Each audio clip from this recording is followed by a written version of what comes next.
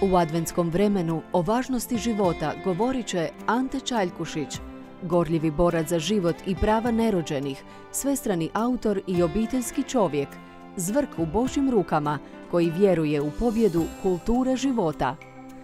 More milosrđa, petak u 22 sata na Laudato televiziji.